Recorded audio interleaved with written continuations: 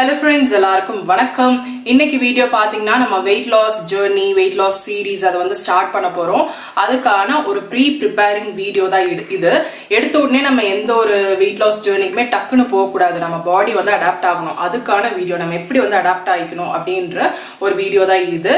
நமக்கு வந்து இது ஸ்டார்ட் இந்த வீடியோ வந்து ஒரு three food three to four டேஸில் வந்து பார்த்தீங்கன்னா நமக்கு வந்து அந்த வெயிட் லாஸ் ஜேர்னியோட வீடியோஸ் எல்லாமே ஒன்று ஒன்றா வர ஆரம்பிச்சிரும். ஸோ இது நீங்கள் ஃபஸ்ட்டு வந்து ஃபாலோ பண்ணிக்கோங்க. நான் வந்து பார்த்தீங்கன்னா ப்ரிப்பேர் ஆகி இருக்கேன் இது என்னென்னலாம் உங்ககிட்ட சொல்லணும் அப்படின்ட்டு நான் மறக்காமல் இருக்கிறதுக்காக நான் வந்து எழுதி வச்சிருக்கேன். ஸோ அதெல்லாமே நான் உங்களுக்கு சொல்கிறேன் வீடியோவை நீங்கள் கடைசி வரைக்கும் பாருங்கள் முடிஞ்சால் நான் வந்து சொல்கிறத வந்து நோட் பண்ணி கூட வச்சுக்கோங்க. ஏன்னா இது ரொம்ப முக்கியம். ஸோ வீடியோக்குள்ளே போகிறதுக்கு முன்னாடி நீங்கள் சேனலை சப்ஸ்கிரைப் பண்ணலாம்னா சப்ஸ்கிரைப் பண்ணி வச்சுக்கோங்க. பக்கத்தில் இருக்கிற பெல் பட்டனையும் கிளிக் பண்ணி வச்சுக்கோங்க. அப்போ தான் நான் வீடியோஸ் போடும்போது உங்களுக்கு நோட்டிஃபிகேஷன் வழியாக உங்களுக்கு வரும். ஸோ அப்போ தான் நீங்கள் எந்த ஒரு வீடியோஸுமே மிஸ் பண்ணாமல் பார்க்க முடியும். இப்போ வீடியோக்குள்ளே போகலாம் ஃபர்ஸ்ட் பாயிண்ட் என்ன அப்படின்னு சொல்லி பார்த்தீங்கன்னா நம்ம வந்து மைண்ட் வைஸ்ல ப்ரிப்பேர் ஆகிக்கணும் நம்ம வெயிட் லாஸ் பண்ணணும் அப்படின்ட்டு நம்ம வந்து ஃபிக்ஸ் ஆகிக்கணும் எந்த ஒரு டிமோட்டிவேஷனுக்கும் நம்ம வந்து இடம் கொடுக்கக்கூடாது இப்போ வந்து நீங்கள் வந்து ட்ரிபிள் டிஜிட்ல இருக்கீங்க. ஹண்ட்ரட் கேஜிஸ்க்கு மேலே இருக்கீங்க. இல்லை ஹண்ட்ரட் வந்துட்டீங்க அப்படின்னா நீங்கள் வந்து மனம் தளரவே கூடாது. நமக்கு நானும் அப்படிதான் இருந்தேன். ஹண்ட்ரட் கேஜிஸ் அப்படின்ற போது பார்த்தீங்கன்னா என்னால் குறைக்கவே முடியாது அப்படின்னு சொல்லி நினச்சேன். ஆனால் நானே ரெடியூஸ் பண்ணியிருக்கேன். நானே ஏன் அப்படின்னு சொல்லி சொல்கிறேன்னு பார்த்தீங்கன்னா எனக்கு கொஞ்சம் கூட கான்ஃபிடன்ஸ் கிடையாது. என்னை சுத்தி இருந்தவங்களுக்கும் என் மேல நம்பிக்கை கிடையாது. நான் வந்து வெயிட் லாஸ் பண்ணுவேன் அப்படின்னு சொல்லிட்டு என்னோட வில் பவர் நான் பண்ணணும்னு நினைச்சேன் பண்ணிட்டேன். இப்போ மெயின்டைன் பண்ணிட்டு இருக்கேன் என்னோட ஓன் ஃபுட் நான் வந்து நானே ஃபுட் சார்ட் போட்டு நானே வந்து எடுத்துட்டு இருக்கேன் எனக்கு இதுலயும் வெயிட் லாஸ் ஆயிட்டு இருக்கு ஸோ ஃபர்ஸ்ட் வந்து நீங்க ஃபிக்ஸ் பண்ணிக்க வேண்டியது செல்ஃப் கான்ஃபிடன்ஸ் நீங்க எந்த நம்பர்ல இருந்தாலும் சரி நம்பர் நமக்கு மேட்டர் கிடையாது. நமக்கு செல்ஃப் கான்ஃபிடன்ஸ் தான் ரொம்ப ரொம்ப முக்கியம். எந்த ஒரு வெயிட்ல இருந்தாலும் நம்ம தாராளமா வெயிட் லாஸ் பண்ணலாம். ஸோ அதுக்காக பாத்தீங்கன்னா நீங்க இந்த மாதிரி ஒரு வெயிட் மிஷின் வாங்கி வச்சுக்கோங்க. டிஜிட்டலில் இருக்கிறது வாங்கி வச்சுக்கோங்க. இந்த முள் மாதிரி இருக்கிறது வேண்டாம்.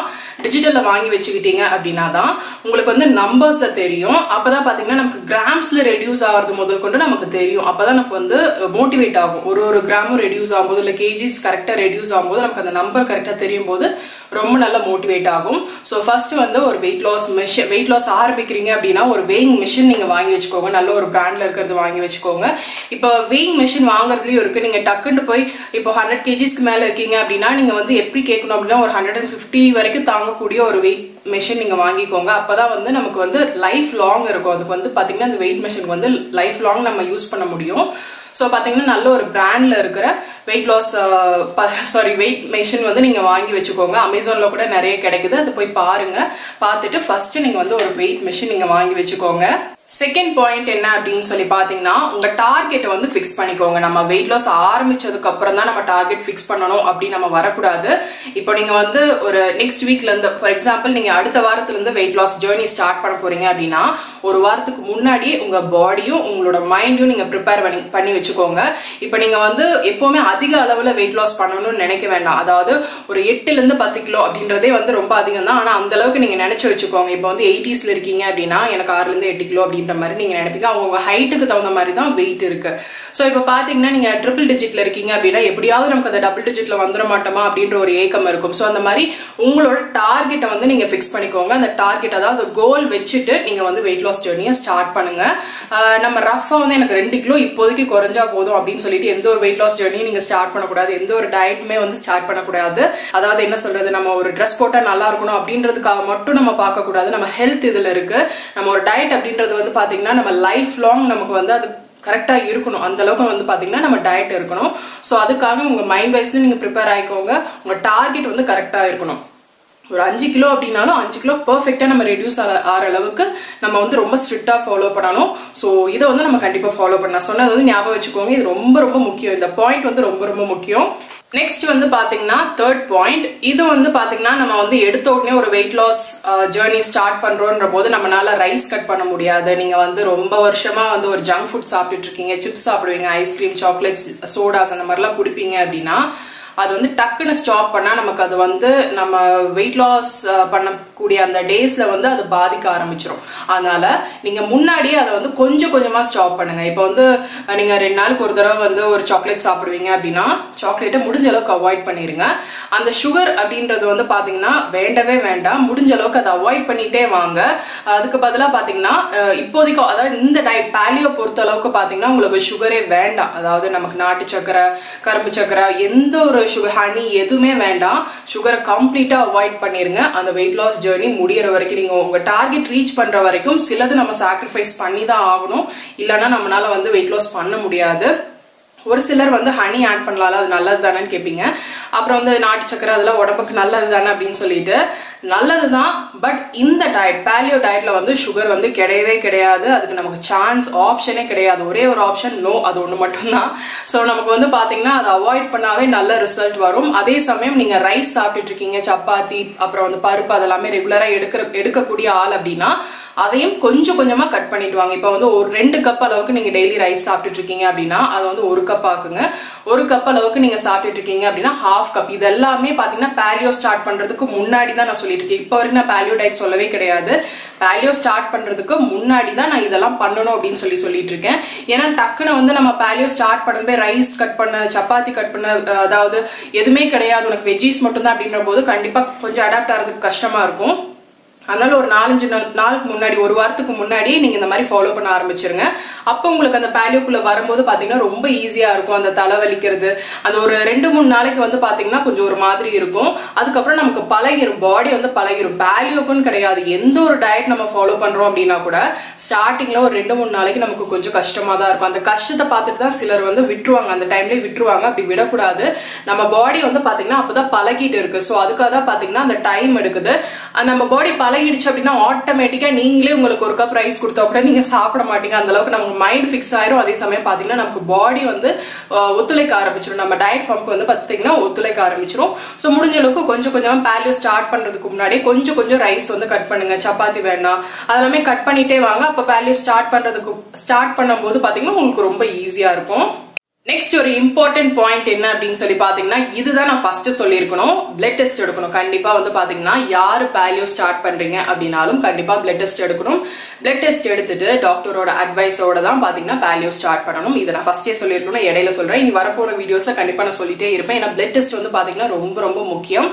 நிறைய பேர் நினைப்பீங்க தைராய்ட் எனக்கு இருக்கு அப்புறம் வந்து பிசிஓடி ப்ராப்ளம் இருக்கு சுகர் இருக்கு நான் அதான் டைப்டிக்கா இருக்கேன் நான் பேலியோ ஸ்டார்ட் பண்ணலாமா அப்படின்னு சொல்லிட்டு தாராளமா ஸ்டார்ட் பண்ணலாம். நானும் ஒரு தைராய்டு பேஷண்டா இருந்தது தான் பேலியோ ஸ்டார்ட் பண்றதுக்கு முன்னாடி எனக்கு இப்போ கியூர் ஆயிடுச்சு. அதே சமயம் பாத்தீங்கன்னா எனக்கு பிசிஓடி ப்ராப்ளம் இருந்தது அதுவும் கியூர் ஆயிடுச்சு. மற்றது எதுவுமே எனக்கு பெருசா கிடையாது. சுகர் வந்து சுகர் டயபெட்டிக்னு சொல்ல முடியாது. எனக்கு ஏன்னா ஹெவி வெயிட்ல இருந்தனால அந்த இன்சுலின் லெவல் வந்து கொஞ்சம் அதிகமா இருந்தது. பட் பேலியோ முடிஞ்சதுமே பாத்தீங்கன்னா எனக்கு எல்லாமே நார்மல் ஆயிடுச்சு. ஸோ என்னோட எக்ஸ்பீரியன்ஸ்ல இவங்க மூணு பேருமே தாராளமா எடுக்கலாம். அதே சமயம் பார்த்தீங்கன்னா ப்ரெக்னெண்ட்டாக இருக்கிறவங்களோ இல்லைன்னா பிரஸ்ட் ஃபீடிங் இருக்கிறவங்களோ எடுக்கலாமா அப்படின்னு கேட்டிங்க அப்படின்னா என்னை பொறுத்தளவுக்கும் என்னை பொறுத்த அளவுக்கு அந்த டைம் வந்து நீங்கள் என்ஜாய் பண்ணுங்கள் ஃபுட்டை வந்து எதுவுமே ரெஸ்ட்ரிக்ட் பண்ண வேணாம். என்னை பொறுத்தளவுக்கும் அந்த டைமில் வந்து பார்த்தீங்கன்னா வேல்யூ வேண்டாம் தான் சொல்லுவேன். என்னோட ஒப்பீனியன் தான் நான் சொல்கிறேன் இது நல்லா தெரிஞ்சவங்க வேல்யூவை பற்றி ரொம்ப நல்லா தெரிஞ்சவங்க அதுலேயே இருக்கிறவங்க மேபி அதை எடுக்கலாம்னு சொல்லலாம். ஆனால் என்னை பொறுத்தளவுக்கும் ஒரு மதராக வந்து பிரெஸ்ட் ஃபீடிங் டைமில் நம்ம வந்து ஃபுட் ரெஸ்ட்ரிக்ஷன் கொடுக்கக்கூடாது. ஏன்னா குழந்தைங்களுக்கு அந்த மில்க் வந்து கரெக்டாக வரணுன்றதால அந்த ஃபுட் சப்ளை வந்து சாரி அந்த ஃபுட்டு வந்து கரெக்டாக நமக்கு எடுத்துகிட்டே இருந்தால் தான் குழந்தைங்களுக்கு பாப்பாங்களுக்கு பார்த்தீங்கன்னா மில்க் வந்து கரெக்டாக வரும். அதே சமயம் ப்ரெக்னென்ட் டைமில் கரெக்டான நியூட்ரிஷியஸ் ஃபுட் எடுத்துகிட்டே இருக்கணும். அந்த டைமில் நம்ம டயட் அதெல்லாமே ஃபாலோ பண்ணக்கூடாது. ஸோ அதுக்காக தான் பார்த்தீங்கன்னா நான் வந்து வேண்டாம் அப்படின்னு சொல்லி என்னோட ஒப்பீனியன் சொன்னேன். நெக்ஸ்ட் வந்து பாத்தீங்கன்னா சின்ன பசங்க எடுக்கலாமா அப்படின்னா அதுவும் அட்வைசபிள் இல்ல அப்படின்னு தான் நான் சொல்லுவேன். வேண்டாம் ஏன்னா ஒரு டீனேஜ் பசங்க இப்போ வந்து ஒரு பதினாலு பதினஞ்சு வயசுல பதினாறு வயசுல இருக்காங்க. அவங்களுக்கு வந்து பாத்தீங்கன்னா ரொம்ப ஒபீஸா இருக்காங்க. பேலியோ ஸ்டார்ட் பண்ணலாமா அப்படின்னா வளர பசங்களுக்கு வெயிட் ஏறும் இறங்கும். ஸோ அந்த டைம்ல பேலியோ வேண்டாம். நான் ரொம்ப ரெக்கமெண்ட் பண்ணுறது யாருக்கு அப்படின்னா ஹண்ட்ரட் கேஜிஸில் இருக்கீங்க. எனக்கு வந்து ப்ரெக்னன்சிக்கு அப்புறம் எனக்கு வெயிட் போட்டிருக்கு. எனக்கு வெயிட் ஏன் போடுதுன்னே தெரியல. தைராய்டுனால எனக்கு வெயிட் போட்டிருக்கு. சுகர்னால எனக்கு வெயிட் போட்டிருக்கு. அந்த மாதிரி நினைக்கிறவங்கள தாராளமாக பிசிஓடி அதெல்லாம் ப்ராப்ளம் இருக்குது அப்படின்னா நீங்கள் தாராளமாக வந்து எடுக்கலாம். ஈவன் உங்களுக்கு பிளட் ப்ரெஷர் இருக்குது அப்படின்னா கூட நீங்கள் வந்து பேலியோ ஸ்டார்ட் அப்போ வந்து நீங்கள் டாக்டர் கிட்ட கேட்டுட்டு உங்கள் டாக்டர் எப்படி அட்வைஸ் பண்ணுறாரோ அதுக்கு தகுந்த மாதிரி மெடிசன்ஸ் எடுத்துக்கிட்டே நீங்கள் வந்து பேலியோவில் இருக்கலாம். நெக்ஸ்ட் வந்து ஒரு இம்பார்ட்டன்ட் பாயிண்ட் எல்லாமே இம்பார்ட்டன்ட் பாயிண்ட்ஸ் தான் நான் சொல்றது எல்லாமே இது எல்லாமே நம்ம வேல்யூ ஸ்டார்ட் பண்றதுக்கு முன்னாடி நம்ம ஃபாலோ பண்ணக்கூடிய விஷயங்கள். அதாவது நம்ம எப்படி இருக்கணும் அப்படின்றதுக்கான ஒரு விஷயங்கள் தான். நெக்ஸ்ட் வந்து பாத்தீங்கன்னா ஆயில் நம்ம பேலியோல யூஸ் பண்ண போற ஆயில் எல்லாமே பாத்தீங்கன்னா கோகனட் ஆயில் அப்புறம் வந்து பாத்தீங்கன்னா ஆலிவ் ஆயில் அதுக்கப்புறம் கீ பட்டர் சீஸ் இதெல்லாம் தான் யூஸ் பண்ண போறோம். ரிஃபைண்ட் ஆயில் கடலை எண்ணெய் அதெல்லாமே கிடையவே கிடையாது. ஸோ நீங்கள் எப்போவுமே பார்த்தீங்கன்னா அந்த மாதிரி ஃபிக்ஸ் ஆகிக்கோங்க நமக்கு ஆயில் டீப் ஃப்ரை பண்ணி சாப்பிட்ற அந்த ஆயிலே கிடையாது. Um, அப்புறம் இன்னி நிறைய பேருக்கு ஒரு தாட் இருந்துகிட்டே இருக்குது என்ன அப்படின்னா பேலியோல் வந்து அதிகமாக செலவாகுமா? ரொம்ப ரிச்சாக இருக்குது டயட் பிளான் எல்லாமே ஃபேட்டி ஃபேட்டியாக இருக்குது கொழுப்பு சத்து அதிகமாக இருக்கே அப்படின்னு சொல்லி கொழுப்பு அதிகமாக சாப்பிட்றோமே.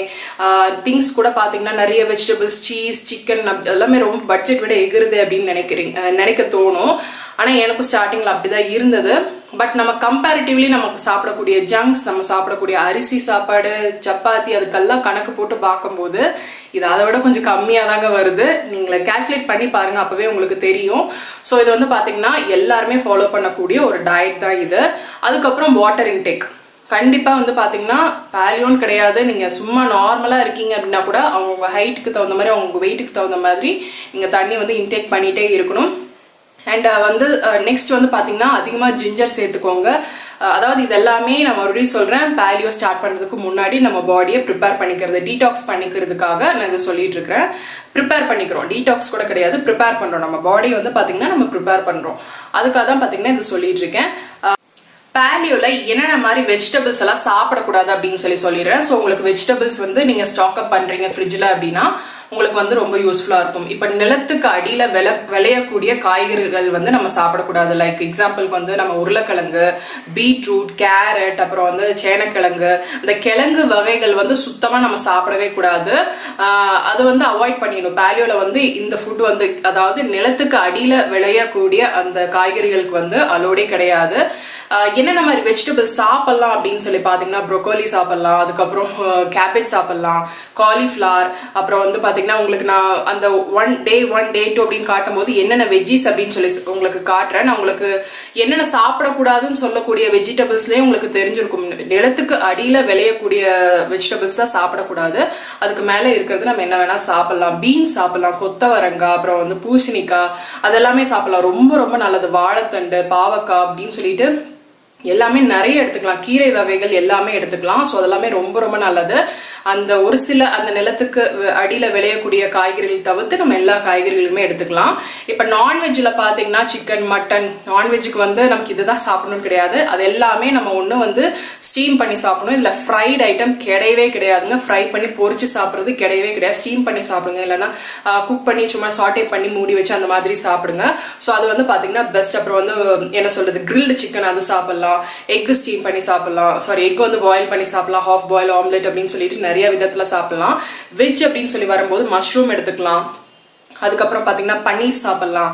அதுக்கப்புறம் வந்து பார்த்தீங்கன்னா வெஜ் எக் வந்து சாப்பிட்லாம். எக் நம்ம இதெல்லாமே ஆல்ட்ரேட் பண்ணிக்கலாம். நம்ம வெஜ்ஜிலன்னு பார்க்கும்போது நமக்கு வெஜிடபிள்ஸ் மட்டும்தான். அதில் நம்ம ஆல்டர் பண்ணி சாப்பிட்லாம். பட் அதுக்கு வேற ஏதாவது ஆப்ஷன் போது பார்த்தீங்கன்னா பன்னீர் மஷ்ரூம் அதெல்லாமே சாப்பிட்லாம் நம்ம. இதை வந்து நம்ம எந்த ஃபார்மில் குக் பண்ணி சாப்பிட்றோம் அப்படின்றதெல்லாம் அந்த ஃபார்மில் தான் இருக்கு. நம்ம டயட் எந்த தூரம் ஃபாலோ பண்ண போகிறோம் அப்படின்றதுல. நம்ம ஒரே மாதிரி பொரியல் மாதிரி பண்ணி சாப்பிட்டுட்டு இருந்தோம் அப்படின்னா கண்டிப்பாக நமக்கு போர் அடிக்க ஆரம்பிச்சிரும். ஆர- ஆரம்பிச்சிரும். ஸோ அதனால பார்த்தீங்கன்னா நிறைய வந்து டிஃப்ரெண்ட் ரெசிபிஸ் இருக்குது அதெல்லாமே நான் உங்களுக்கு வந்து ஷேர் பண்ணுறேன் டங் வந்து ரொம்ப ரோல் ஆகுது ஃபாஸ்ட்டாக பேசுகிறனால ஸோ அதை வந்து ப்ளீஸ் அவாய்ட் பண்ணிக்கோங்க. நெக்ஸ்ட் வந்து பார்த்தீங்கன்னா உங்கள் ஃப்ரிட்ஜை வந்து அந்த ஜங்க் எல்லாம் இருக்குது அப்படின்னா அதை அப்படியே தூக்கி ஒரு பக்கம் வச்சுட்டு உங்கள் கண்ணில் படாத மாதிரி வச்சுட்டு உங்களுக்கு தெரியற மாதிரி fresh fruits sorry fresh fresh வெஜிடபிள்ஸாக நீங்கள் வந்து ஸ்டாக் அப் பண்ணி வச்சுக்கோங்க. நான் சொன்ன வெஜிடபிள்ஸ் எல்லாமே நீங்கள் வந்து வாங்கி வச்சுக்கோங்க. ஒரு பத்து நாளைக்கு வாங்கி வச்சுக்கோங்க. அதுக்கப்புறம் மறுபடியும் ஒரு பத்து நாளைக்கு வாங்குங்க. அந்த மாதிரி தான். உங்கள் டார்கெட் ரீச் பண்ணுற அளவுக்கு நீங்கள் வந்து இந்த மாதிரி பேலியோ நீங்கள் வந்து ஃபாலோ பண்ணலாம். பேலியோல நமக்கு டார்கெட் வந்து அப்படியே ரீச் பண்ண முடியுமா அப்படின்னா கிடையாது. எனக்கு வந்து பார்த்தீங்கன்னா ஹண்ட்ரட் அண்ட் ஒன்ல இருந்து நான் வந்து ஒரு எயிட் டு நைன் கேஜிஸ் வந்து பார்த்தீங்கன்னா என்னோடது வாட்டர் வெயிட்டே தான். அதுக்கப்புறம் பார்த்தீங்கன்னா எனக்கு வெயிட் லாஸ் வெயிட் லாஸ் வந்து கொஞ்சம் கம்மியாச்சு. வெயிட் லாஸ் ஆகிறது கம்மியாச்சு. அந்த டைமில் பார்த்தீங்கன்னா நான் ஃபாஸ்டிங் போனேன். ஃபாஸ்டிங்கில் வெயிட் சும்மா கட கட கட கடன்னு இறங்க ஆரம்பிச்சிச்சு. ஸோ அது வந்து பார்த்தீங்கன்னா நான் தனியாக வீடியோ போஸ்ட் பண்ணுறவங்களுக்கு எப்படி இப்படின்னு சொல்லிட்டு. ஸோ இந்த வீடியோ உங்களுக்கு ஒரு ஐடியா கிடைச்சிருக்கும். நம்ம எப்படி இருக்கணும்? வேல்யூ ஸ்டார்ட் பண்ணுறதுக்கு முன்னாடி எப்படி இருக்கணும் அப்படின்னு சொல்லிட்டு. நெக்ஸ்ட் வீக் நீங்கள் ஸ்டார்ட் பண்ண போறீங்க. ஒரு ஃபோர் ஃபைவ் டேஸில் நீங்கள் ஸ்டார்ட் பண்ண போறீங்க அப்படின்னா இந்த மாதிரி நீங்கள் உங்களையும் உங்கள் பாடி உங்கள் வீ- உங்களோட உங்களை சுற்றி இருக்கிற அந்த ஆம்பியன்ஸை வந்து நீங்கள் ப்ரிப்பேர் பண்ணி வச்சுக்கோங்க. ஈஸியாக நம்ம வந்து எந்த வெயிட்டில் இருந்தாலும் கண்டிப்பாக வந்து வெயிட் லாஸ் பண்ணிடலாம். ஸோ நெக்ஸ்ட் வரப்போகிற வீடியோஸ் எல்லாமே பார்த்தீங்கன்னா ரொம்ப இன்ட்ரெஸ்டிங்காக இருக்க போது இந்த வீடியோ உங்கள் ஃப்ரெண்ட்ஸ் யாருக்காவது இல்லை உங்கள் ஃபேமிலி மெம்பர்ஸ்க்கு யாருக்காவது ரொம்ப யூஸ்ஃபுல்லாக இருக்கும்னா தயவுசெய்து இந்த வீடியோ ஷேர் பண்ணிக்கோங்க. ஏன்னா நிறைய பேர் யூஸ்ஃபுல்லாக இருக்கும் இந்த வீடியோ பார்த்து அவங்க டயட் சார்ட் வச்சு அவங்க வந்து இந்த மாதிரி ஃபாலோ பண்ணுறாங்க அப்படின்னா வெயிட் லாஸ் பண்ணுறதுக்கு ரொம்ப ரொம்ப யூஸ்ஃபுல்லாக இருக்கும். ஸோ இந்த வீடியோ உங்களுக்கு பிடிச்சிருந்தது அப்படின்னா ஒரு லைக் கொடுங்க. உங்கள் ஃப்ரெண்ட்ஸோட இந்த வீடியோவை நீங்கள் மறக்காமல் ஷேர் பண்ணிக்கோங்க. சப்ஸ்கிரைப் பண்ணலன்னா சப்ஸ்கிரைப் பண்ணிக்கோங்க. நெக்ஸ்ட் ஒரு இன்ட்ரெஸ்டிங் வீடியோவில் நான் உங்களை பார்க்குறேன். தேங்க்ஸ் ஃபார் வாட்சிங்